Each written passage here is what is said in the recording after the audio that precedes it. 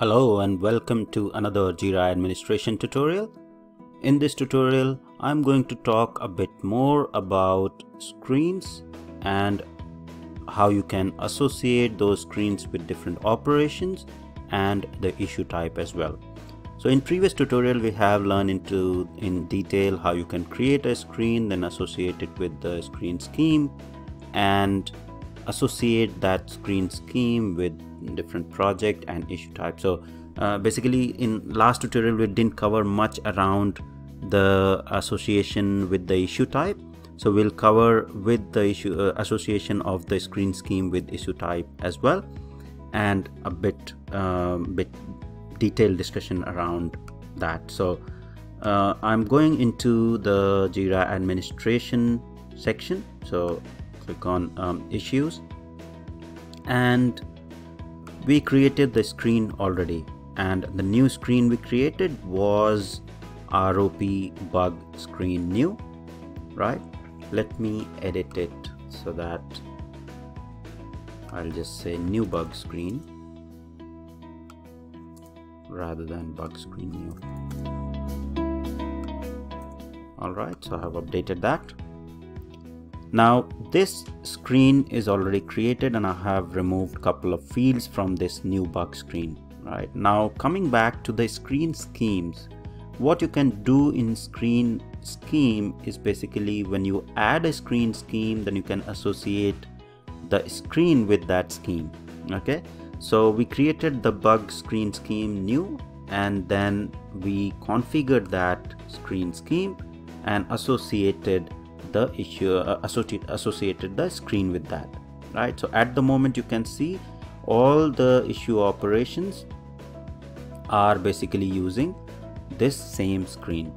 And from the screen scheme you can define which issue operation uses which particular screen. There will be scenarios in the organization wherein you will be required to have a different screen for create edit and view issue and in those sort of scenarios you have to configure different screens for each of these operations and associate those screens from this screen. So for example you have a different screen for create you associate it with create you have a different screen for edit you associate it with edit and you select that new screen that you will create. So for example new bug screen that you create and you associate that with this uh, edit.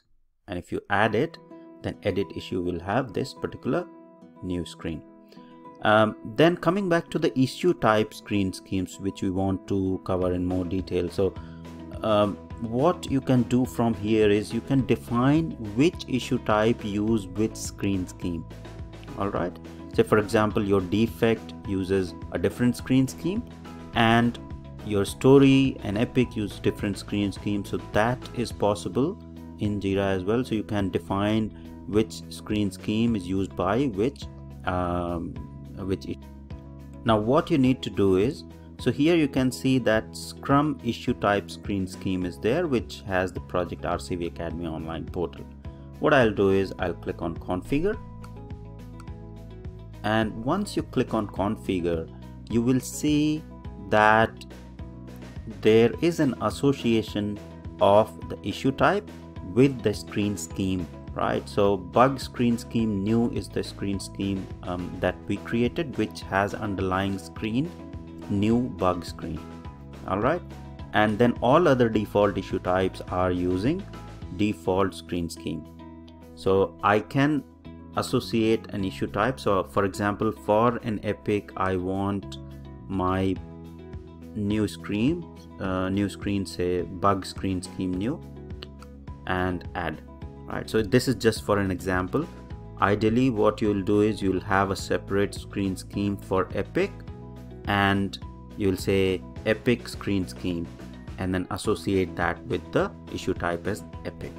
So in when you associate that what will happen is for whenever you go to create an epic the new screen will appear for the epic. So for example here if i click on create now and click on epic.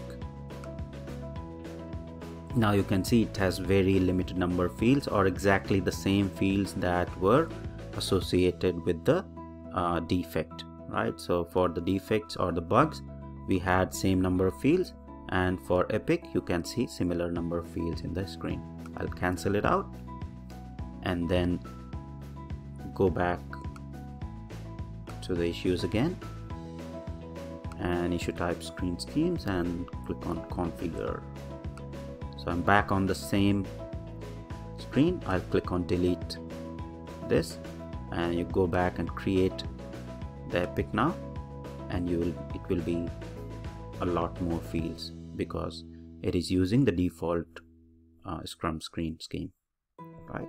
So that is uh, basically how you associate the issues to a new uh, screen scheme now to reiterate what we have learned in this tutorial we have learned how you can associate a new issue type or uh, an issue type with the screen scheme so in previous tutorial we learned how to create a new screen, associate it with the uh, new screen scheme and then with the project.